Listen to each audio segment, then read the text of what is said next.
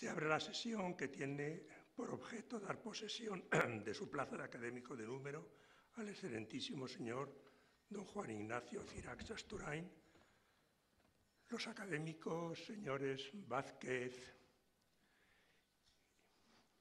perdona, ¿dónde está la frase?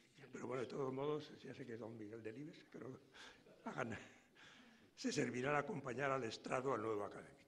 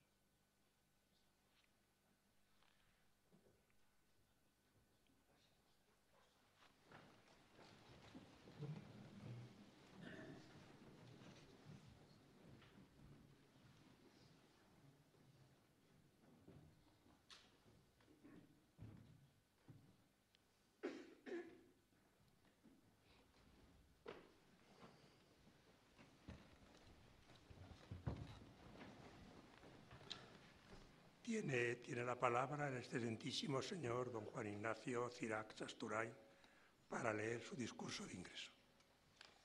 Muchas gracias. Excelentísimo señor presidente de la Real Academia, excelentísimas señoras académicas y señores académicos, queridos compañeros y amigos, señoras y señores, en primer lugar quiero mostrar mi agradecimiento a todos los miembros de la Real Academia de Ciencias Exactas, Físicas y Naturales por haberme acogido en esta gran institución, en particular a los excelentísimos señores don Carlos Sánchez de Río y Sierra, don Antonio Hernando Grande y don Alberto Galindo Tixaire por haber propuesto mi candidatura. Mi agradecimiento en especial a este último por haber aceptado contestar a este discurso y efectuar la presentación oficial. Me corresponde ocupar la medalla número 54, que no tiene antecesor. Espero hacerlo con dignidad y merecerme el honor de estar entre los académicos tan ilustres que han formado y continúan formando parte de esta academia. Como la mayoría de los científicos, yo no hubiera podido dedicar mi vida a la investigación de no haber sido por mis maestros. Por tanto, quiero agradecer a todos ellos el haber despertado mi curiosidad y pasión por la ciencia. En particular, deseo mencionar explícitamente algunos que han jugado un papel esencial en mi formación, tanto como físico como como investigador. Don Carlos Sánchez del Río y Sierra fue mi profesor en el primer curso de física que tuve en la universidad y fue él quien me contagió la pasión por esta disciplina. Don Alberto Galindo Tixaire fue mi profesor de física cuántica, la especialidad a la que he dedicado mi investigación. De él y de sus libros no solo he aprendido esta materia, sino también a combinar la intuición, el rigor y la pasión en la investigación.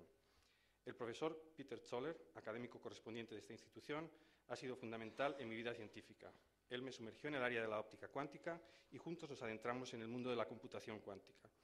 Durante toda mi carrera he tenido el privilegio de colaborar con muchos investigadores españoles y extranjeros y que han hecho posible que hoy esté aquí. Sería demasiado largo mencionar todos sus nombres, pero todos ellos quedan constatados en, en las publicaciones científicas que hemos compartido. A todos ellos mi más sincero agradecimiento. Además, deseo dar las gracias a las instituciones en las que he trabajado y que han jugado un papel crucial en mi profesión. La Universidad Complutense de Madrid, en donde estudié de carrera e hice mi doctorado, la Universidad de Castilla-La Mancha, en donde trabajé como profesor titular, la Universidad de Colorado, en donde hice mi estancia como postdoc, la Universidad de Innsbruck, en donde fui profesor de física teórica, la Universidad Técnica de Múnich, en donde soy profesor honorario, el Instituto de Ciencias Fotónicas, en donde soy profesor invitado desde su constitución, y por último, el Instituto Max Planck de Óptica Cuántica, en donde he realizado mi tarea investigadora en los últimos 15 años. Finalmente, mi mayor agradecimiento a mi familia y amigos más cercanos por haberme acompañado durante todo este tiempo. Sin su apoyo, tampoco estaría en estos momentos disfrutando de tan grado honor. Mi conferencia va a ser sobre la dificultad de resolver los problemas de muchos cuerpos en física cuántica. Bueno, parece una contradicción el hecho de que hoy en día, cuando queremos construir un avión o queremos construir un edificio, podemos simularlo con un ordenador, podemos ver si ese ordenador va a volar sin necesidad de construir el avión y si el ordenador nos dice, nos da la respuesta de que va a volar y cómo va a volar, sabemos que si lo construimos eso va a ser así.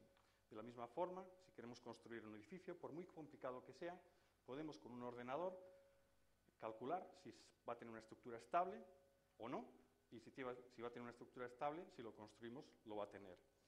Sin embargo, si queremos describir eh, un material, yo no sé si tendrían que cambiar, ah, está. Si, queremos describir eh, un material como el que tienen ahí, compuesto por unos cuantos átomos y electrones, queremos saber si ese material va a conducir la electricidad sin pérdidas, eso es, si es un superconductor, no lo podemos hacer. El hecho de que no lo podamos hacer es, uno de los mm, mayores obstáculos que tenemos dentro de la física y no ocurre solo con materiales superconductores, sino que aparece también en muchos otros campos. Por ejemplo, en el campo de la química, queremos estudiar una reacción y saber si a partir de unos productos vamos a obtener otro producto, muchas veces es imposible predecirlo y predecir en qué cantidad va a ocurrir. O si queremos describir no solo las propiedades eléctricas, sino propiedades magnéticas de materiales, propiedades de resistencias de materiales, tenemos el mismo problema. Incluso en las teorías más fundamentales de la física, como las teorías de partículas, si queremos hacer predicciones sobre cuáles van a ser las masas de las partículas compuestas, pues tampoco lo podemos hacer con precisión. Como digo, pues eh, eh, choca el hecho de que materiales que incluso puedan tener muy pocos átomos, del orden de 50 o 100 átomos, o muy pocos electrones, muy pocas partículas del orden de 50 o 100, no los podamos describir, mientras que estos objetos tan grandes como los aviones, los edificios, los coches, etcétera, etcétera, los podamos describir perfectamente y un ordenador nos puede decir si van a tener las propiedades que, tenemos, que consideramos o no. ¿En dónde radica esta dificultad? Existe una solución, estas son las cuestiones que quiero abordar aquí y de las que he dedicado los últimos 15 años de mi carrera como investigador. Y en particular, eh, la, razón de la dificultad está en que estos materiales que queremos describir, estos materiales superconductores, semiconductores, estas moléculas que tienen que formar reacciones químicas o bien los problemas que aparecen en la física de altas energías, todos ellos vienen descritos por la teoría que se llama la física cuántica. Es una teoría que describe el mundo microscópico y que hace que sean extremadamente complicados. Y la forma de, resolverlo, una forma de resolverlo es a través de o bien los simuladores cuánticos, que como explicaré son equipos que uno están, que están construyendo hoy en día en el laboratorio para poder resolver estas cuestiones, o bien a través de métodos matemáticos y en particular las redes de tensores en los cuales también he trabajado durante los últimos 15 años. En la memoria que he escrito he hablado de estas dos soluciones al problema de la descripción de los problemas difíciles, pero en esta eh, conferencia, en esta charla, voy a hablar de los simuladores cuánticos. Y para ello voy a hablar primero de la física cuántica. Es una teoría ya antigua, tiene más de 100 años, fue introducida. Los primeros conceptos de la física cuántica fueron introducidos al principio del siglo pasado por Max Planck y fue desarrollada por muchos otros pioneros científicos como Einstein, Bohr, de Broglie, Schrödinger, Heisenberg, Dirac, que dieron lugar a una teoría que hoy en día está, es muy bien conocida y que nos permite describir pues, desde lo más pequeño hasta prácticamente las cosas que vemos en nuestro tamaño natural. Podemos describir con ella las partículas más elementales, cómo esas partículas elementales, los quarks, por ejemplo, pues, se juntan para formar eh, neutrones y protones, como los neutrones y protones forman núcleos, cómo esos núcleos pueden reaccionar, o si tienen algunos electrones alrededor, pues forman los átomos, cómo los átomos pueden formar moléculas, cómo las moléculas pueden formar sólidos, líquidos, gases. Todo esto lo describe con una extrema precisión la física cuántica. Por lo tanto, es una teoría que, además de descubrirnos de qué estamos hechos, cómo funciona el universo, pues también ha dado lugar a muchas de las aplicaciones que tenemos hoy en día. Se calcula que el 35% de los aparatos, de los equipos que nos rodean, informáticos eh, de, todo tipo, están basados en, la, física cuántica. Así que el descubrimiento de la física cuántica no solo supuso un avance en el conocimiento de lo que es el universo, sino también ha, dado lugar a una revolución tecnológica que tuvo lugar durante el siglo pasado. Existe, sin embargo, una, una propiedad de la física cuántica hasta hace poco no ha sido explotada. Es, la, propiedad más misteriosa y la que la gente suele asociar pues, a, lo más paradójico dentro de la física cuántica. Es muy contraintuitiva y es la que se llama la existencia de superposiciones. Y la existencia de superposiciones es algo que hoy en día se ve en muchos experimentos, se puede demostrar en muchos experimentos, y uno de ellos es el experimento de Stern-Gerlach, un experimento que se hizo en los años 20, y la idea, por aquel entonces, que tenían los señores Stern y Gerlach, era demostrar que los átomos se comportan como los imanes, que tienen lo que llamamos un momento magnético. Para ello lo que hacían es poner otros campos magnéticos de tal forma que si este imán, si existía un imán y el polo norte estaba apuntando hacia arriba, pues al pasar por una zona del espacio esos campos magnéticos lo empujarían y se iría para arriba, y si el polo norte estuviese eh, mirando para abajo, pues lo empujaría hacia abajo y aparecería en otro lugar en, una pantalla, esos átomos. Y hicieron el experimento y la sorpresa primera que tuvieron es que aparecían solo dos manchas. Los átomos parecían que solo podían ir para arriba o para abajo, mientras que uno podía pensar que además de tener el polo norte para arriba o para abajo, pues lo podían tener mirando hacia la izquierda, en cuyo caso no tendrían, tenían que aparecer en el, en el centro. Así que este experimento, por un lado, demostraba la existencia del momento magnético, del hecho de que los átomos se comportan como imanes, pero también trajo una paradoja consigo que hoy en día logramos explicar simplemente con las leyes fundamentales de la mecánica cuántica que nos dicen que los átomos, aparte de poder estar con el polo norte mirando para arriba o con el polo norte mirando para abajo, pueden estar en una superposición de los dos. Es decir, están como en los dos estados a la vez. Algo que describimos matemáticamente en términos de pues, llamamos funciones de onda, que dependen de un par de coeficientes.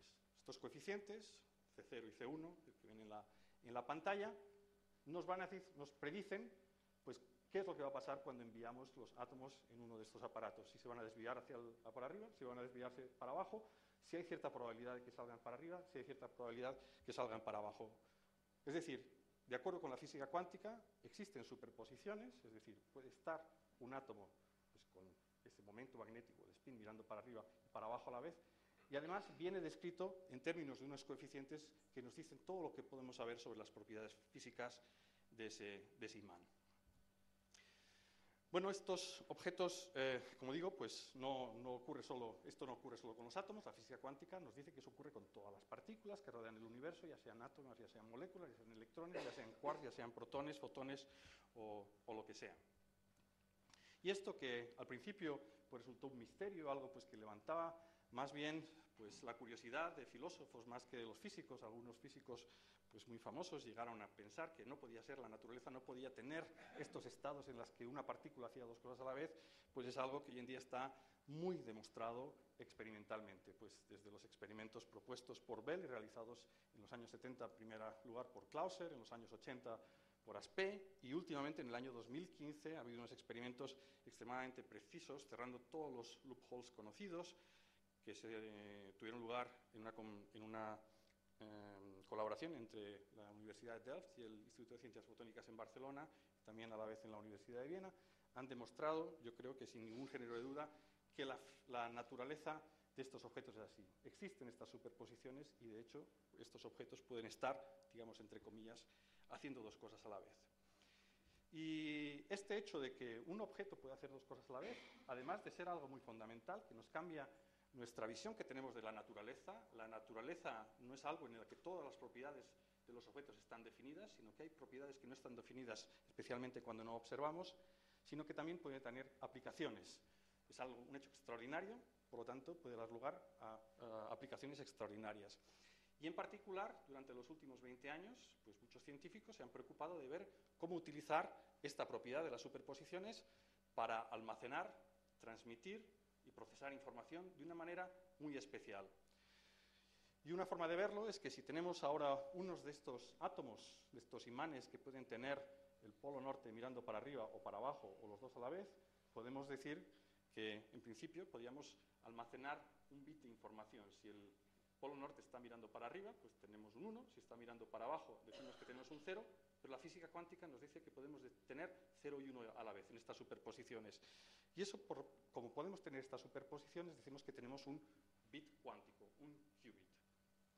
Si ahora tenemos dos de estos bits cuánticos, podemos tener o los dos eh, imanes mirando al norte, o uno al norte al sur, o uno al sur al norte, o los dos al sur. Hay cuatro posibilidades o superposiciones de ellos. Es decir, que podemos tener esos dos átomos haciendo cuatro cosas a la vez.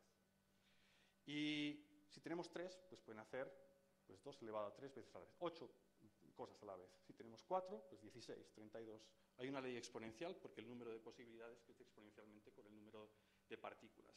Y esto ha dado lugar a aplicaciones, aquí voy a mencionar simplemente, pues una de ellas es la criptografía cuántica, precisamente utilizando este hecho de que los átomos, o los fotones, el caso de la comunicación, pueden estar haciendo dos cosas a la vez, nos permite tener un método para encriptar mensajes que no puede ser interceptados de ninguna forma. O de tal forma que si alguien los quiere interceptar, vamos a saber que lo está leyendo, que va a intentar, está intentando interceptar el mensaje y no va a poder leer nuestro mensaje. Esto ha dado lugar pues, a una, toda una generación de, protocolos para, de seguridad, para comunicarnos de una manera secreta y en particular pues, existen ya pues, del orden de 10 o 15 empresas por todo el mundo vendiendo dispositivos de criptografía cuántica.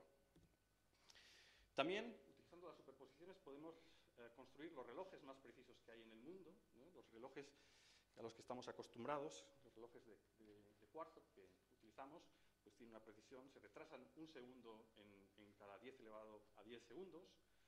Los relojes que tenemos en los satélites, que son responsables de que nuestros navegadores funcionen con el GPS, pues se retrasan del orden de un segundo en 10 elevado a 12 o 13 segundos pues bien, utilizan, y utilizan de hecho estas superposiciones, bueno, pues utilizando estas superposiciones de manera muy cuidadosa, pues han construido los relojes más precisos del mundo, en particular en los, en, los, laboratorios del National Institute of Standards and Technology, en Boulder, y en el Joint Institute for Laboratory Astrophysics, también en Boulder, en Colorado, y estos relojes pues se retrasarían un segundo en cada 10.000 millones de años, 10.000 millones en 10.000 millones de años. Es decir, prácticamente en toda la edad que pensamos que tiene el universo se habrían, retrasado un solo segundo.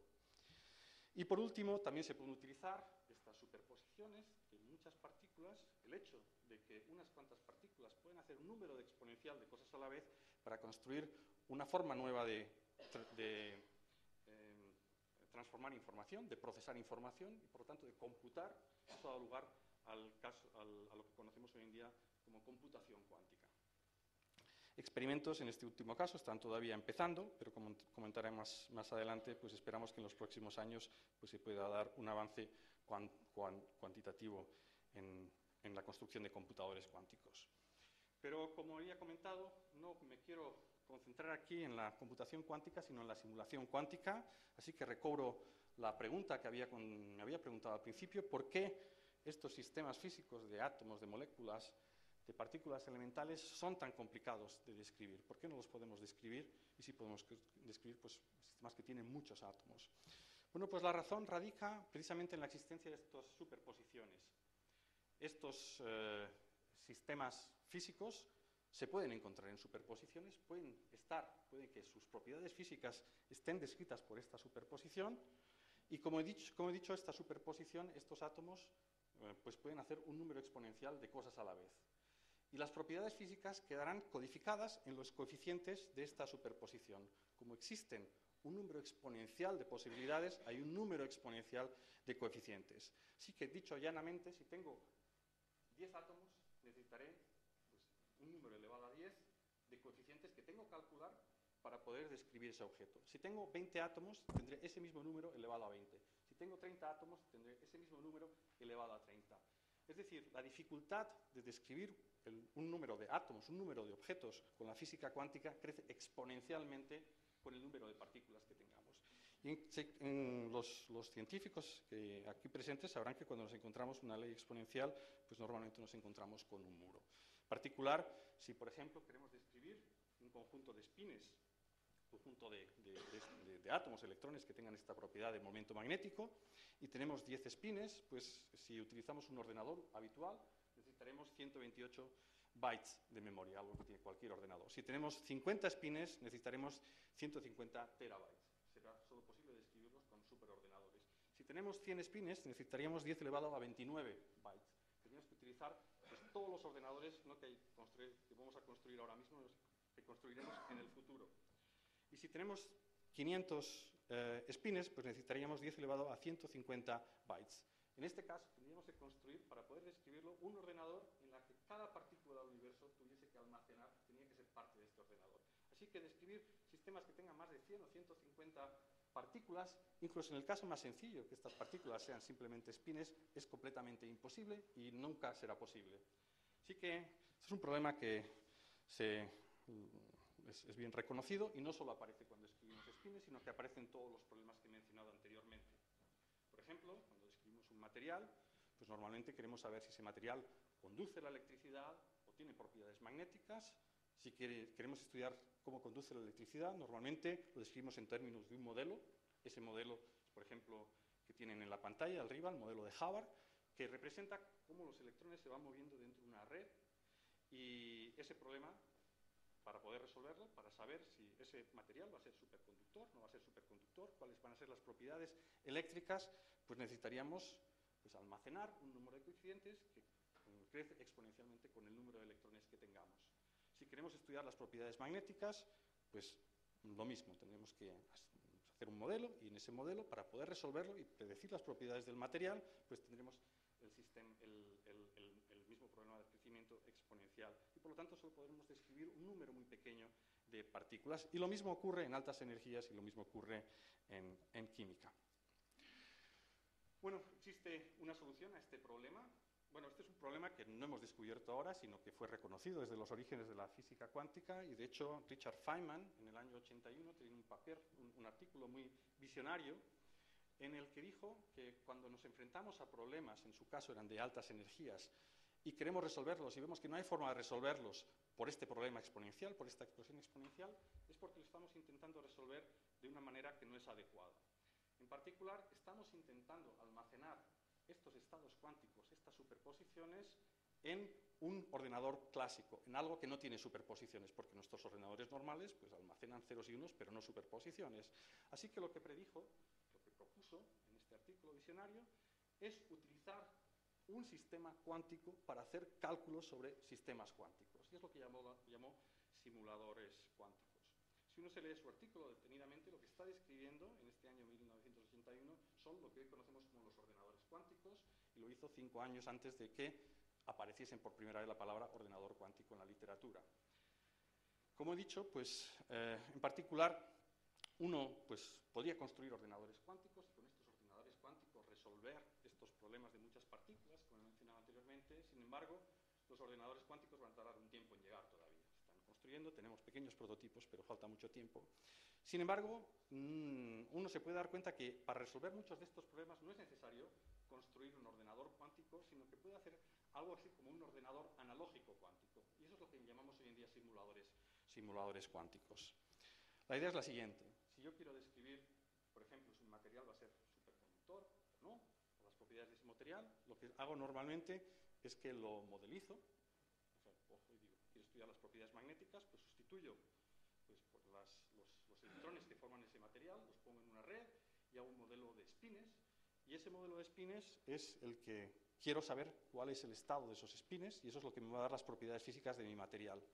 Si quiero resolver ese problema, lo que hago es coger otro sistema distinto, lo que llamamos simulador, y ese es un sistema cuántico. Es un sistema formado por partículas, por espines, partículas cuánticas, pero que puedo manejar, controlar y manipular a mi gusto. Es decir, es un sistema que no tiene nada que ver con el original, es un sistema físico, cual tengo un control absoluto, de tal forma que puedo hacer que esos, eh, esas partículas que dominen interaccionen de acuerdo con las mismas leyes que el modelo que quiero resolver.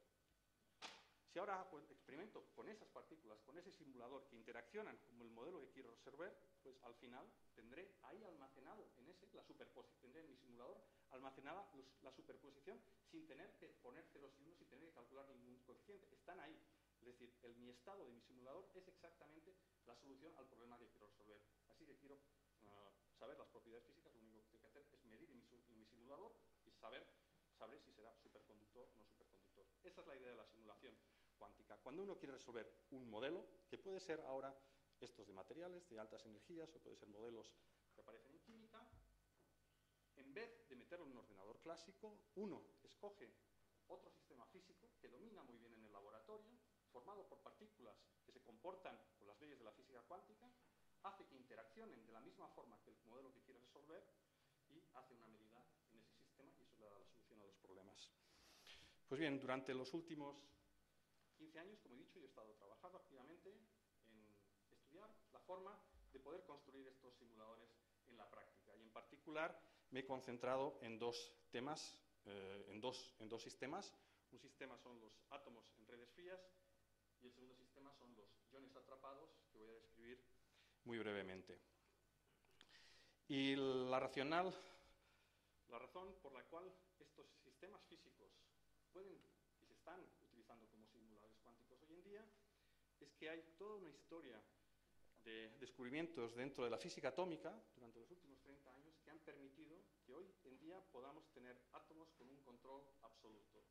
Podemos tener un átomo, aislarlo completamente, quitar todos los átomos y moléculas que hay alrededor, que hay del orden de 10 elevado a 25 en una, una región del, de, del espacio, podemos quitar todas ellas y dejar una sola. Además, estos átomos que están rodeándonos hoy en día se están moviendo a velocidades altísimas. Pues los átomos o las moléculas que se mueven en el aire se mueven a, a las velocidades de, de, un, de un, jet, ¿no? a, mil kilómetros por hora. Pues podemos hacer que no solo que estén en el espacio, sino pararlas, frenarlas, atraparlas y que se queden levitando. Y podemos hacerlo con un átomo, con dos átomos, con tres átomos, con cuatro átomos. De hecho, los podemos poner en redes, podemos hacer ahora que interaccionen los unos con los otros, podemos ajustar cómo queremos que interaccionen, podemos ajustar los parámetros de las interacciones. Y esta es la forma de construir precisamente pues, los simuladores cuánticos porque eso cumple los requerimientos que había mencionado anteriormente. En particular, los átomos en redes ópticas, lo que se puede hacer es que estos átomos como he mencionado anteriormente, tenían, tenían un, uh, tienen un momento magnético, es decir, se comportan como imanes. De hecho, también tienen un momento eléctrico, se, se, pueden polarizar. Si uno enfoca luz, que no es resonante con una transición atómica, pues se convierten en pequeños dipolos eléctricos y a la vez la luz, como tiene un campo eléctrico, lo que hace es que puede empujar estos dipolos eléctricos. O dicho de otra forma, la luz puede empujar. Esta luz que está actuando sobre mí me puede empujar, lo que pasa que yo grande, tengo una masa muy grande, de tal forma que no lo noto, pero si tenemos un átomo lo puede empujar mucho. Y de hecho se pueden utilizar luz, ahora pues eh, utilizando láseres que se propagan en dirección uh, contraria para formar una onda estacionaria con un patrón de intensidad que tiene una forma periódica y esos átomos se pueden quedar empujados por esa onda de tal forma que en las zonas de máxima intensidad quedan atraídos hacia esa zona y las zonas de, ba de, baja intensidad los repelen. Así que si tenemos estos láseres en el, en, en el espacio formando un patrón de interferencia, formando una uh, onda estacionaria, podemos atrapar a los átomos en los mínimos de este, de este potencial que se crea y tenemos una red. Podemos hacer lo mismo en dos dimensiones, en tres dimensiones, por lo tanto podemos tener ahora redes tridimensionales, bidimensionales, unidimensionales, donde los átomos están atrapados en esta red. Y los átomos además se pueden mover en la red de la misma forma que los electrones se mueven en los sólidos. Y precisamente por eso pues podemos ajustar los parámetros para que se muevan exactamente como los electrones que se mueven, como los electrones se mueven en los sólidos y así simular modelos de Hubbard que había dicho anteriormente. Además, estos átomos tienen este spin, tienen ese movimiento magnético, por lo tanto, también se pueden comportar como spines y podemos ajustar los parámetros para que ahora podamos estudiar con ellos pues, modelos de spines. Así que esto que era una teoría, una, teoría, una, una idea teórica que nosotros desarrollamos en el año 98, pues en el año 2002 se convirtió en una realidad. Hicieron la primera simulación cuántica, es una simulación muy trivial porque es un modelo que sabemos resolver, que no hace falta un, un ordenador cuántico para resolverlo, pero se demostró que efectivamente estos átomos en, en estas redes ópticas se comportan como bosones, ¿no? si tuviésemos no electrones, no, no fermiones, sino bosones en un material. Se comprobó experimentalmente, fue un artículo que, de hecho, pues, eh, abrió la posibilidad ahora a estudiar otros modelos que no podemos resolver con, ordenador, con, ordenadores usuales en el laboratorio. Y de hecho, pues durante los últimos años se han hecho muchos experimentos y aquí muestro el último experimento en el cual pues, se ha resuelto un problema que no se puede resolver teóricamente, que es la existencia de una transición de fase en lo que se llama many body localization, localización de muchas partículas en modelos de dos dimensiones. Ha sido hecha en el, el laboratorio del profesor Immanuel Bloch, que está, de hecho, en mi instituto. Y también se pueden hacer, se pueden construir uh, simuladores cuánticos basados ahora en iones atrapados. Ahora, en vez de tener átomos levitados, levitando, le, le, levitados, empujados por luz, lo que podemos hacer es cargar esos átomos, convertirlos en iones. Les quitamos un electrón, por lo tanto ahora están, son iones, con lo cual tienen ahora carga eléctrica. Si ponemos unos electrodos, pues estos electrodos van a crear un campo que van a empujar a estos, a estos iones. Y si uno elige la forma de estos electrodos adecuadamente, pues se pueden hacer que leviten también en las zonas donde uno quiera. Y de esta forma, pues tenemos tener redes de iones atrapados que también podemos manipular, podemos hacer que interaccionen como queramos y que interaccionen, de hecho, de la misma forma de los modelos que queramos estudiar. Estos experimentos no están tan adelantados, pero sí que ha habido varios experimentos. Estos son unos que tuvieron lugar el, año pasado y este año. De la izquierda es un experimento que se hizo en el grupo de Chris Monroe en, el eh, Joint Quantum Institute en, en, la Universidad de Maryland y muestra pues, una serie de iones y ahí lo que se estudió es el movimiento del spin de los iones bajo ciertas interacciones. Es un modelo que podemos resolver y nos sirve como un test para ver que todo funciona. Todavía el número de iones es lo suficientemente pequeño en el experimento como para que podamos todavía resolverlo con ordenadores clásicos. El de la derecha es la primera simulación cuántica que se han hecho con iones, que contiene un número de iones que es del orden de 200, 200 a 300 iones, y estos ya no sabemos cómo simular. Han sido hechos en, en los laboratorios de John Bollinger en el National Institute for Standards and Technology.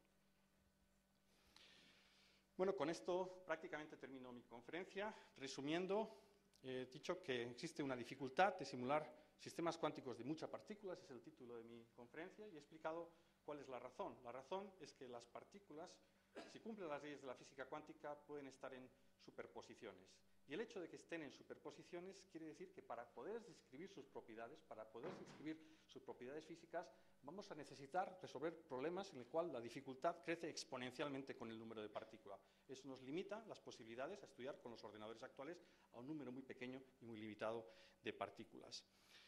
Sin embargo, existen soluciones a este problema. Uno de ellos es la simulación cuántica, que es la idea originalmente pensada por Feynman, y la idea es utilizar otro sistema que llamamos simulador, que podemos controlar de tal forma que ese sistema, con la física cuántica, se comporte de acuerdo con las leyes de la física cuántica y podamos realizar en ese, sistema los experimentos para poder encontrar las soluciones de nuestros modelos. Los primeros experimentos han tenido lugar ya, ya se han hecho algunas simulaciones cuánticas que no se pueden realizar con ordenadores clásicos y a lo que esperamos que en los próximos años pues, se puedan estudiar problemas relevantes, sobre todo problemas relacionados con la superconductividad, problemas de altas energías y tal vez más adelante problemas de química. Bueno, esto de la simulación cuántica no es ni más ni menos, no es más que una parte de lo que la gente tiende a llamar la segunda revolución cuántica. Como he dicho antes, la física cuántica es una teoría muy antigua que tiene más de 100 años y que dio lugar a nuestro entendimiento, conocimiento de qué estamos hechos. Ese conocimiento dio lugar a lo que se, conoce como la primera revolución cuántica, que como consecuencia ha dado lugar también pues, a las tecnologías que tenemos hoy en día, los ordenadores, los láseres, las centrales nucleares, existen gracias a nuestro conocimiento de la física cuántica. Sin embargo, esas tecnologías normalmente no utilizan el principio de superposición. El hecho de que hoy en día podamos hacer experimentos y verificar y utilizar, controlar el principio de superposición, abre nuevas puertas, en particular la de la simulación cuántica, pero muchas otras que he mencionado aquí, como la comunicación cuántica, la computación cuántica, las medidas de precisión. Y de hecho, el año pasado pues, se anunciaron algunas empresas conocidas, Google, Intel, IBM y otras, pues que van a dedicar unos fondos muy generosos para hacer investigaciones e intentar construir un ordenador cuántico. Los primeros ordenadores cuánticos, los primeros prototipos ya están aquí, tienen del orden de hasta 20 de estos bits cuánticos, todavía no son competitivos, pero ahora esperemos que con la entrada de empresas pues, aceleren la, construcción de estos ordenadores cuánticos, también sistemas de, criptografía cuántica, sistemas de comunicación cuántica, y la Comunidad Europea también se ha puesto en marcha y hace pues, un, par de, par de meses pues, anunció el nuevo flagship, un nuevo proyecto de un billón de euros en 10 años para intentar desarrollar esta segunda revolución cuántica. Quería terminar agradeciendo también el trabajo realizado por mis colaboradores, esto es el Departamento de Física Teórica del Instituto Max Planck de Óptica Cuántica y en particular a todos mis colaboradores que están listados aquí durante toda mi carrera, tanto los estudiantes de doctorado como los postdocs. Voy a leer la conclusión. Al final de mi intervención deseo reiterar mi más sincero agradecimiento a los miembros de la Academia por haberme acogido entre ellos. Asimismo, quiero dar mi reconocimiento a mis profesores y colaboradores con los cuales he aprendido y disfrutado de lo que, hoy es, día, eh, hoy es hoy en día mi pasión, la investigación. Por último, deseo dar las gracias a mi familia y en particular a mis padres por haberme enseñado, entre otras cosas, que la educación es lo mejor legado que se le puede dar a un hijo. Y en particular a mi padre, que desgraciadamente no puede estar aquí hoy. Gracias.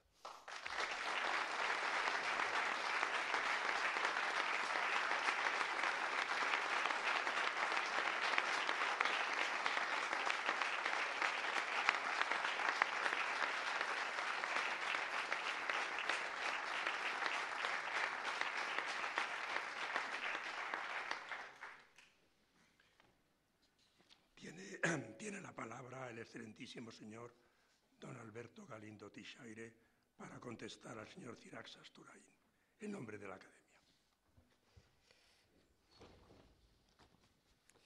Excelentísimo señor presidente, señoras y señores académicos, señoras, señores, es para mí un gran honor haber sido designado por nuestro presidente para dar la bienvenida institucional al profesor Juan Ignacio Cirax Asturain y responder a su discurso.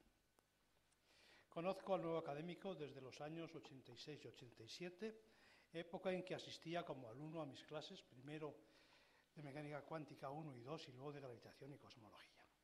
Volví a saber de él una década más tarde, cuando su nombre resonaba internacionalmente gracias a su, seminal trabajo con Peter Soller acerca de la implementación cuántica de la puerta lógica Control Not y su influjo potenciador sobre la computación cuántica. Escuchemos cómo narra esto en su conferencia Nobel el testigo David Wineland, quien con eh, Serge Laroche compartía en 2012 el Nobel en Física por sus espectaculares experimentos con átomos y fotones, respectivamente, bajo control individual. Escribe Weiland. En la Conferencia Internacional sobre Física Atómica celebrada en Boulder, Colorado, en el año 94, Arthur Eckert dio una conferencia en la que exponía las ideas básicas de la computación cuántica, un tema nuevo para la mayor parte de los asistentes. Esta conferencia estimuló y llevó a Ignacio Cirac y a Peter Soller, allí presentes, y ambos muy familiarizados con las posibilidades y limitaciones de los experimentos con trampas de iones, a proponer un esquema básico de un computador cuántico basado en iones. Este trabajo, pionero y fértil, fue la primera propuesta completa de cómo construir un procesador de información cuántica. Fin de la cita.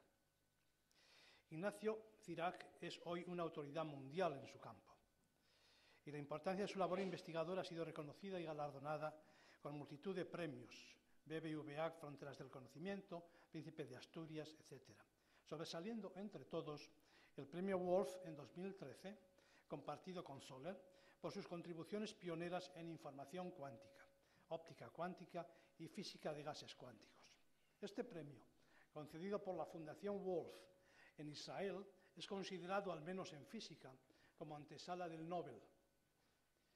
Creo que con esto queda claro el impresionante palmarés del profesor Cirac e insistir más podría herir su natural modestia de gran científico. Pero estos méritos no acompañan otros no menores. Desde su puesto de director de la división teórica del Instituto Max Planck de óptica cuántica en Garching, Alemania, Cirac ha impartido un espectacular impulso a la información cuántica y en especial ha catapultado a multitud de brillantes jóvenes investigadores, entre los que figuran no pocos españoles. Nunca dice no a cualquier llamada o requerimiento para dar conferencias, figurar en comités ejecutivos, eh, comités consultivos, participar en actos conmemorativos o apoyar acciones a favor de la ciencia o de los científicos. Así es Ignacio, un brillante investigador y un hombre generoso y humilde. Su relación con esta casa se remonta al año 2002, cuando fue elegido académico correspondiente nacional. En el 12, Cirac fue elegido académico de número de nuestra institución y en el acto presente toma la posesión de su cargo. El discurso que acabamos de escuchar es una impecable y autorizada lección sobre la importancia de la simulación cuántica y de sus logros hasta el presente. Por mi parte, me limitaré a resumir aquí unas modestas reflexiones generales sobre la física, la que conocí como estudiante de matemáticas en el lustro 52-57 y la que me ocupa y divierte hoy como octogenario. En aquellos años de estudios universitarios, las dos grandes revoluciones epistémicas del siglo XX, las relatividades y los cuanta, estaban tristemente ausentes de los planes de estudio. Esta importante carencia tuvimos que suplirla individualmente de forma autodidacta, con los defectos que esto entraña y que tardarían años en corregirse. Solo cuando hube de enseñar esas materias a otros caí en la cuenta de mis errores y ausencias, que corregidos como pude, ahora creo convivir en armonía con dichas disciplinas. Hubo una, entre todas, que se me atragantó, la termodinámica esa parcela del conocimiento físico sobre la que Sommerfeld, en anecdótico relato, confesaba que la primera vez que la estudias no, no entiendes nada. A la segunda ya la entiendes, salvo un par de cosillas. Y a la tercera sabes que no la entiendes, pero para entonces ya estás tan acostumbrado que no te importa. La termodinámica está al lado de las demás áreas físicas, aunque un tanto distante, viendo cómo aquellas vienen y se van, crecen y marchitan, y acudiendo en su auxilio cuando es requerida. Salida de los fogones del gran ingeniero Carnot, a la termodinámica acudimos incluso para leer la historia del cosmos en las diminutas irregularidades observadas en la distribución de temperaturas del baño de fotones que permea el universo. Ciencia del fuego o ciencia del calor, así empezó a ser llamada. El calor, como el trabajo, no es un tipo de energía, sino un proceso de transferencia de energía. No en vano es una forma diferencial inexacta. No es ninguna sustancia, ni como energía reside en ninguna parte. ¿Y qué diremos de la entropía? Esa magnitud irreal, espiritual, pero que mueve el mundo. La palabra entropía fue introducida explícitamente por Clausius en 1865 para denotar una función de estado cuya existencia había inferido del estudio del ciclo de Carnot. Quiso darle un nombre clásico para que fuera robusto ante el cambio de lenguas y eligió el griego eh, entropé, transformación, próximo al de energía, energía. Pero ¿sabe ya alguien qué es la entropía? Porque cuando von Neumann le recomendó su uso a Shannon, allá a finales de la década de los 40, como sinónimo de información perdida, le dio dos razones. Una, que la mecánica estadística se empleaba ya en ese sentido, y otra, y más importante, porque le dijo von Neumann a Shannon, como nadie sabe qué es realmente la entropía, llevarás ventaja en cualquier discusión.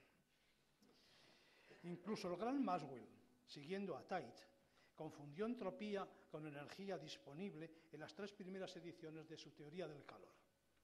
La lectura de los trabajos de Gibbs llevó a Maxwell a darse cuenta de su error y a partir de la cuarta edición del libro definió ya la entropía a la Clausius tras reconocer su error, humildemente. ¿Es la entropía una medida del desorden?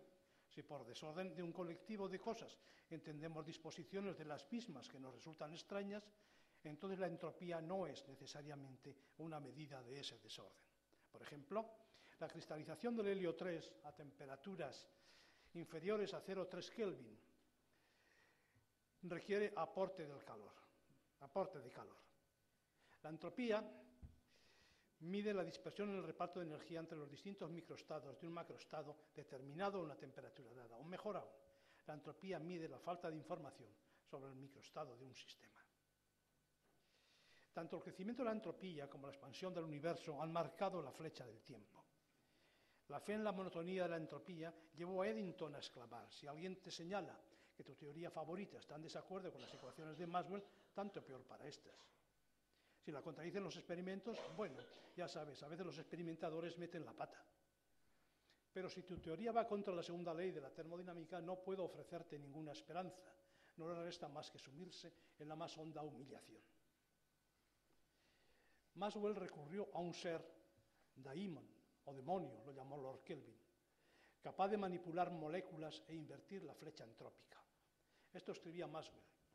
La verdad de la segunda ley es, por tanto, una verdad estadística, no matemática, pues depende de que los cuerpos que consideramos constan de millones de moléculas y de que nunca podremos asir una sola de ellas. Casi un siglo después, Bennett, apoyándose en el principio de Landauer, exorcizó a ese diablillo, mostrando que el borrado de la información almacenada en su memoria para proceder a un nuevo ciclo generaba entropía suficiente como para compensar la aparente disminución conseguida con su actuación previa. De nuevo prevalecía la segunda ley, menos mal, porque ahora los físicos, como hemos oído, sí saben ya cómo coger moléculas individuales y podrían actuar de daímones. Recordemos muy brevemente las conocidas leyes de la termo antes de presentar sus cambios actuales. Ley 0, transitividad del equilibrio termodinámico. Ley 1, conservación de la energía. Ley 2, existe una función de estado aditiva a la entropía que es monótona creciente en todo proceso termodinámico de un sistema aislado. Y ley 3, es imposible alcanzar el cero de temperatura absoluta en un número finito de procesos físicos de duración finita. La incursión investigadora en el dominio microscópico ha obligado a replantearse la termodinámica. Por ejemplo, uno de los resultados de la termodinámica considerados como más universales, el espectro de la radiación del cuerpo negro, falla cuando el tamaño de los sistemas es comparable a la longitud de onda de Wien. Y su análisis requiere el recurso de una termodinámica de fluctuaciones.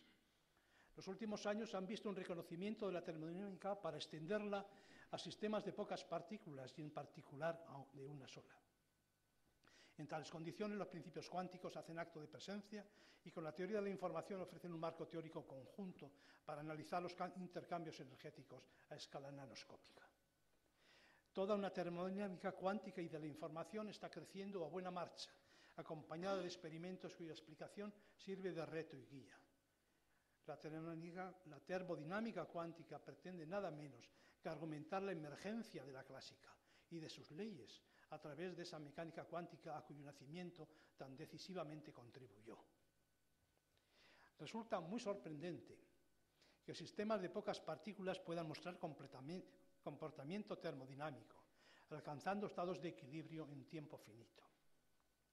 Esta cuestión ha sido objeto de mucha atención teórica en los últimos años si para análoga pregunta en la física clásica es convencional, se recurría a la ergodicidad o al mezclado, en el marco cuántico se ha propuesto la tipicidad como la esencia del estado termodinámico en equilibrio. Casi todos los estados puros del sistema universo, entendiendo por tal un subsistema pequeño, más un ambiente con muchos más grados de libertad, son localmente indistinguibles del estado mezcla hiperbable del universo. Esto implica la canonicidad gibsiana del estado del sistema a una temperatura determinada. Y por todo ello, por un curioso e importante lema del probabilista francés Paul-Pierre Lévy, referente a la concentración de una medida al crecer la dimensión.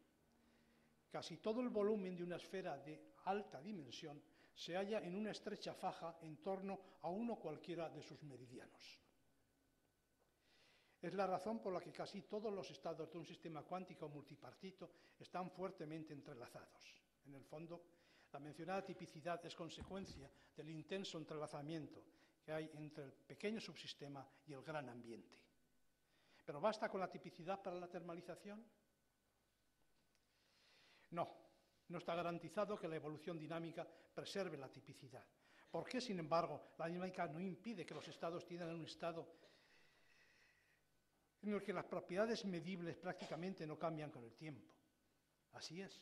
Y, por ejemplo, bajo la condición genérica de que el espectro del hamiltoniano de evolución total no presente brechas degeneradas y que la dimensión gilbertiana del ambiente sea mucho mayor que la del pequeño sistema de nuestra atención, se demuestra que cualquier estado inicial evoluciona de modo que llega a ser prácticamente indistinguible de su promedio temporal.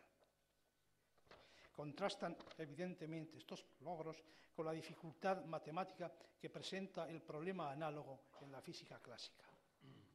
¿Y qué les pasa a las leyes de la termodinámica clásica al descender al dominio cuántico? Pues se adaptan a las nuevas bases conceptuales. La ley cero, por ejemplo, se transforma en la hipótesis de que, dado un sistema aislado con hamiltoniano dado, existe una familia de estados de equilibrio termodinámico parametrizados por la temperatura, tales que no es posible extraer de cualquier conjunto isotermo de ellos ningún trabajo. Son los estados canónicos de Gibbs. La ley 1, principio de conservación de energía, se mantiene con igual formulación. En cuanto a la famosa ley 2, en la termodinámica cuántica no hay una ley 2, sino muchas leyes 2. Y no es la entropía la función monótona central, sino unas energías libres. Se sabe que la transición térmica de un estado a otro de un sistema con cuyo hamiltoniano ambos conmutan es posible sí y solo si el estado inicial termomayora al estado final. A veces esa transición no es posible y hay que echar mano de un catalizador cuántico auxiliar que la facilite, un sistema ancila o siervo que al terminar el ciclo debe en principio volver a su estado de origen. En ese caso, y la misma suposición de que los estados inicial y final en contacto con el baño térmico sean diagonales en bloque con la energía, se demuestra que la condición necesaria y suficiente para que alguna transición catalítica sea posible es que todas las energías libres de una familia continua sean monótonas decrecientes. Para sistemas macroscópicos que no estén altamente correlacionados, todas esas energías confluyen asintóticamente en la clásica energía libre de Helmholtz. Finalmente, la controvertida Ley 3. Un siglo después de su aparición en escena, se ha presentado por fin una demostración del teorema de inaccesibilidad a partir de primeros principios.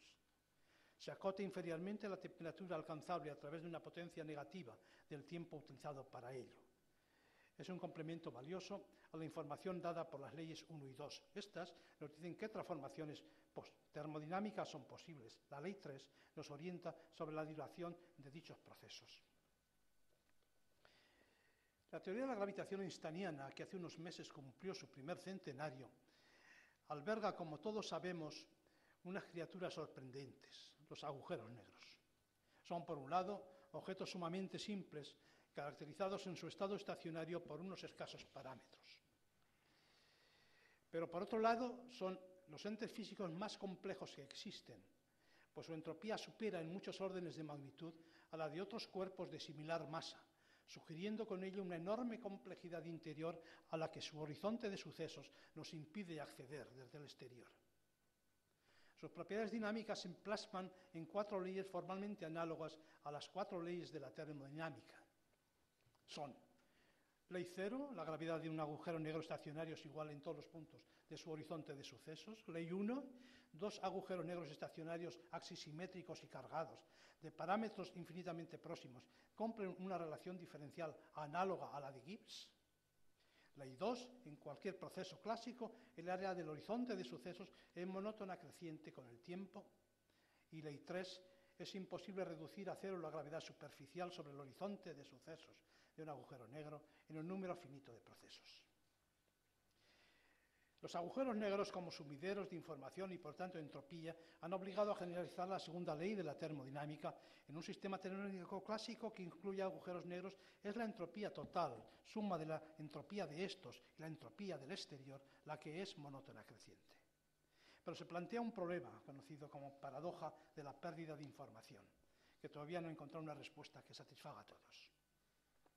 Supongamos que el agujero negro proviene del colapso de materia de un estado cuántico puro. El efecto de su evaporación Hawking es devolver al, al exterior radiación en estado mezcla, que es el aspecto del cuerpo negro. Esto parece ir en contra de la unitariedad de la evolución cuántica. Digo parece, porque no es claro, ya que quizás la puridad se ha perdido porque se ha tomado trazas sobre el horizonte. El pasado enero, Hawking, Perry y Strominger han propuesto un mecanismo que podría salvaguardar la información.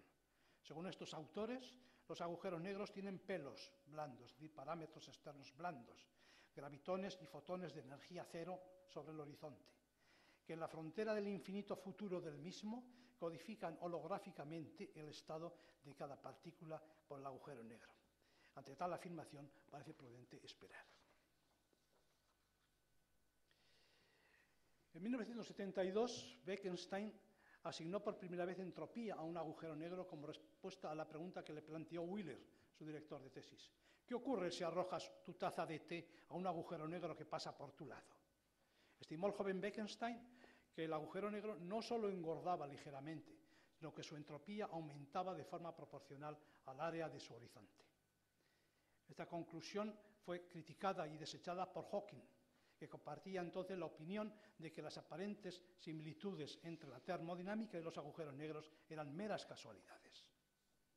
Irónicamente, al poco tiempo, el propio Hawking conseguía una tímida unión de la relatividad general y la mecánica cuántica y demostraba que los agujeros negros estacionarios emiten radiación con un espectro térmico de cuerpo negro como si estuvieran a una temperatura proporcional a la gravedad en su horizonte, con un factor de proporcionalidad bien determinado. Con este central hallazgo, la comparación de las leyes 1 de la termoclásica y de los agujeros negros sugiere de inmediato que la entropía de estos últimos viene dada por la fórmula de Bekenstein-Hawking, entropía igual a área del horizonte dividida por 4, en unidades geometrizadas.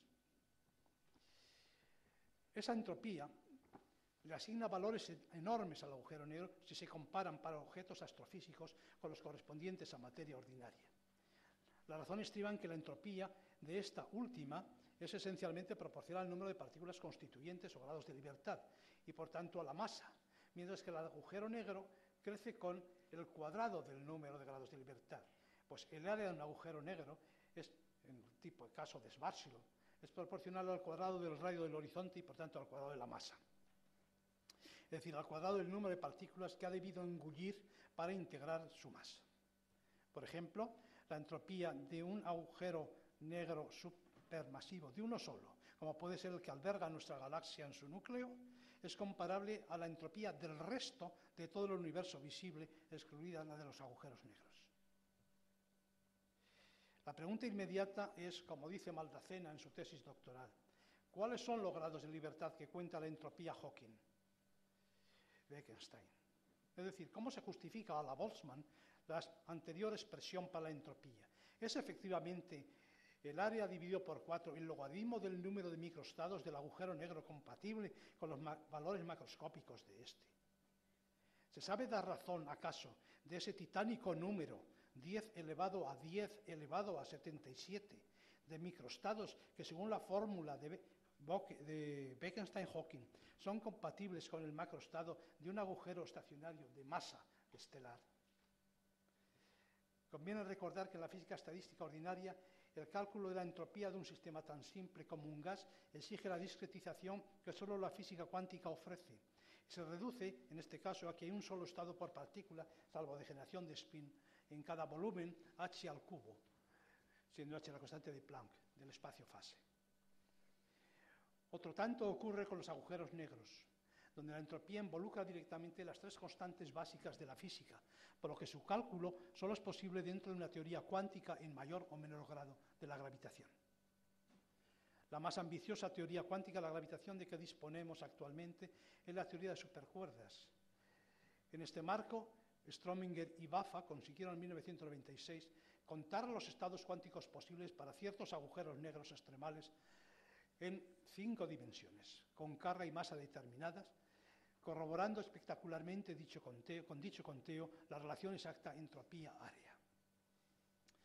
Curiosamente, los constituyentes últimos de estos agujeros negros, vistos desde la teoría de las supercuerdas, son cuerdas y branas de tipo especial, tipo Dirichlet, fuertemente acopladas.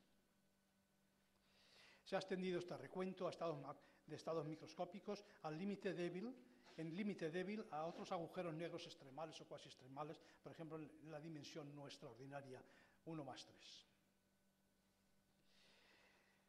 Resulta singular el protagonismo de la termodinámica, no escapa de su influencia ni siquiera algo tan íntimo a la física como es el propio espacio-tiempo, ese escenario o arena en que ocurren las cosas en algún sitio y en algún momento, ese marco que Newton introduce sin definir, pues es, dicen sus principios, de todos conocido. En los últimos años hemos visto una explosión de publicaciones anunciando el fin del espacio-tiempo como concepto primitivo y su posible emergencia secundaria a través de la nueva visión holográfica del mundo proclamada en la década de los 90 por Toft y Soskin, con la conjetura de que el universo es un holograma cuya descripción básica yace en su frontera. La correspondencia anti-de Sitter, eh, teoría de campos conforme, alias conjetura de Maldacena, ha propiciado, propiciado un espectacular impulso al proyecto holográfico. Tal correspondencia, todavía por demostrar de forma completa y rigurosa, goza de numerosos respaldos parciales y tiene la importante propiedad de ser dual en el sentido de asociar modelos con gravedad en regímenes de acoplo débil o fuerte en un espacio con modelos sin gravedad en regímenes de acoplo fuerte o débil en el espacio frontera. Su ofrecimiento de resultados en situaciones no perturbativas a través de esa dualidad fuerte-débil ha llevado a una actividad febril en la aplicación de la misma. Simplemente eh, de una dualidad operacional conjeturada y extendida a todos los campos sin excepción de la física. Y ahí tenemos a físicos de altas energías, de materia condensada, de hidrodinámica, etcétera, interesados en los agujeros negros de variadas dimensiones, en las branas tipo Dirichlet, etcétera, buscando respuestas a interrogantes que diez años atrás ni siquiera soñaban que fuesen calculables de algún modo. Es hora de terminar mi intervención. hemos podido apreciar, espero, que la vieja termodinámica, aquella que no entendíamos, se ha vestido de gala y comparte mesa y mantel con lo más florido de la física actual. Ya tengo tajo para algún tiempo si he de familiarizarme con todo esto. Mientras, demos nuestra más calurosa acogida a Juan Ignacio Cirax Asturay. Va a ser un bastión fundamental de nuestra academia, ahora y en su futura historia. No solo entra con él uno de los más valiosos exponentes de la ciencia actual, también su juventud y su enorme prestigio nos van a estimular para hacer que nuestra institución abra más sus puertas al talento científico joven que bulle en nuestra sociedad. Sé Ignacio, bienvenido a esta Real Academia. Gracias.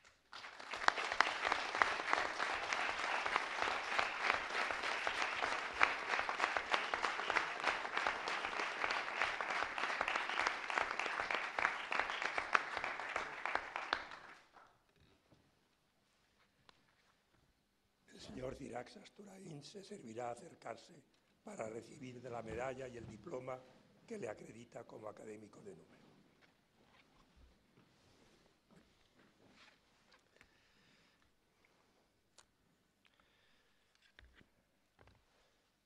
Eh, Mejor que te la pongas tú.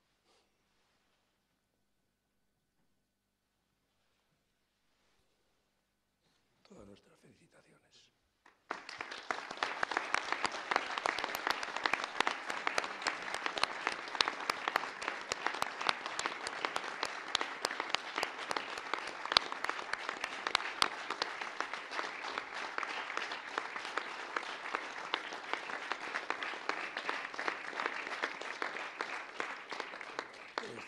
El señor Juan Ignacio Cirac Asturaín se sentará entre sus compañeros en señal de toma de posesión. Se levanta la sesión.